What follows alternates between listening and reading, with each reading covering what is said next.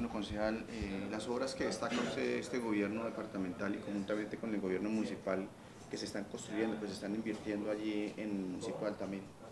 Eh, pues primero que todo, pues darle la gracia al señor gobernador, al doctor Carlos Julio González Villa, por haber tenido en cuenta no solo el municipio de Altamira, sino a todos los 37 municipios del departamento. ¿no?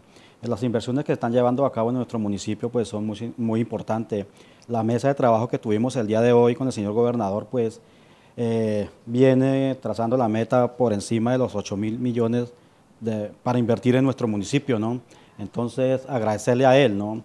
Como lo acababa de decir el señor alcalde, pues temas importantes como es el, la red de adopción de nuestro acueducto municipal, eh, temas que vienen con pavimentación de vías, que va a ser el embellecimiento para nuestro municipio, igualmente eh, mejora la calidad de vida para nuestros ciudadanos. ¿no?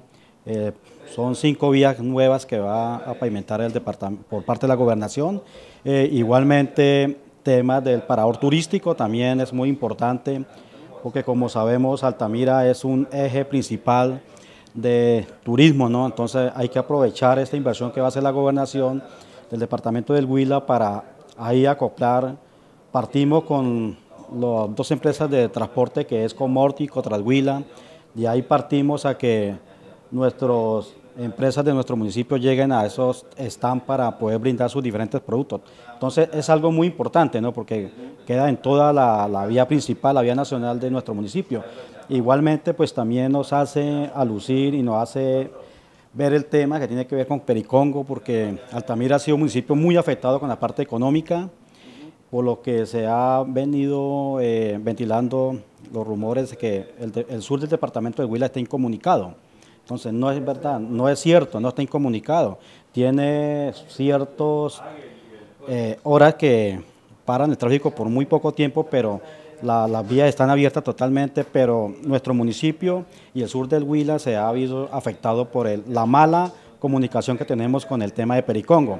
Pero el, señor gobernador hoy ha tenido comunicación con los diferentes entes a nivel nacional y nos da claridad las obras que vienen, que es una inversión por 10 mil millones en el tema del puente de El Diablo en Pericongo, igualmente con pavimentación y lo que son creo que cuatro 5 kilómetros en la vía eh, La Guaira, Naranjal, Naranjal, Sicana. Es una vía alterna que va a quedar en muy buenas condiciones y también se va a hacer una inversión por encima de los 10 mil millones de, pesos. Entonces, esto es bueno que lo sepa el departamento del Huila para que la gente vuelva a, visitar el sur del Huila, como es nuestro parque arqueológico que es San Agustín.